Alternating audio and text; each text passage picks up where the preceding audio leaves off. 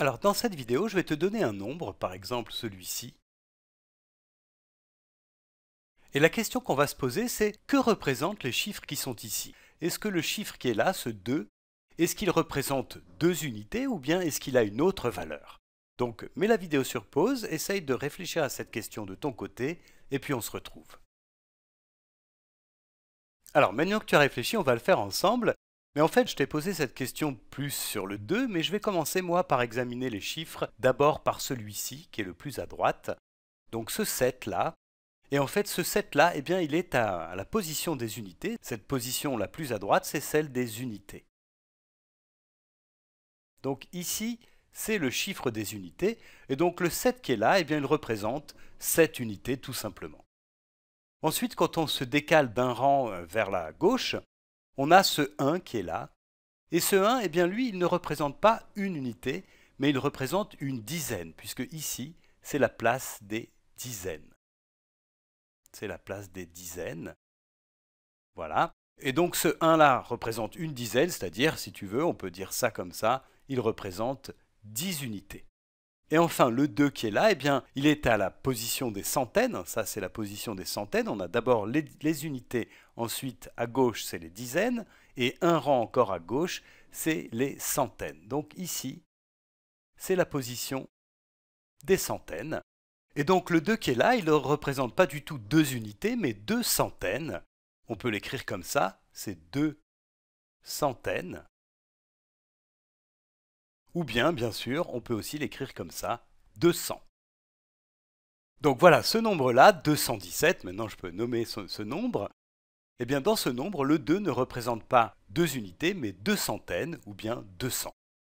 Alors maintenant, je vais te poser une question un petit peu différente. En fait, je vais te donner trois nombres.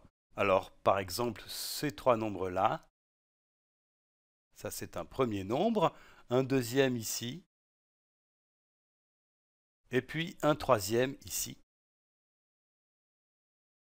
Et maintenant, ce que je voudrais que tu fasses, c'est que tu mettes la vidéo sur pause et que tu essayes d'identifier dans ces trois nombres-là celui dans lequel le chiffre 7 représente 70. Alors, à toi de jouer et on se retrouve. Donc, on va regarder le premier nombre. Alors ici, la position la plus à droite, donc celle-ci, c'est la position des unités. Je vais noter juste avec un U. Donc le 7 ici représente 7 unités, il ne représente pas du tout 70. Donc c'est pas dans ce nombre-là que le chiffre 7 représente 70. On va regarder maintenant euh, le nombre suivant, celui-ci. Alors le 2 qui est là, il est à la position des unités. Et donc le 7 qui est là, eh bien lui, il est à la position des dizaines. Je mets un grand D pour l'indiquer. Et donc le 7 qui est là représente 7 dizaines, pas 7 unités, mais 7 dizaines. Je vais l'écrire ici. Donc ça, c'est 7 dizaines. Et 7 dizaines, eh bien, c'est 70. Donc c'est dans ce nombre-là, 572, que le 7 représente 70 unités, donc 7 dizaines ou 70 tout simplement. Alors on va quand même regarder le dernier nombre qui est donné. Donc ici, le 5 il est à la position des unités. Le 0 est à la position des dizaines.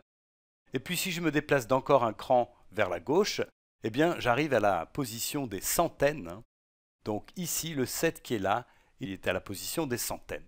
Donc le 7 qui est là représente 7 centaines et pas 7 dizaines, donc pas 70, mais plutôt 700. Alors pour terminer, je vais quand même énoncer, enfin donner les noms de ces nombres. Celui-ci c'est 437, celui-ci 572, on l'a dit tout à l'heure, et le dernier 705. 7 centaines, 0 dizaines et 5 unités.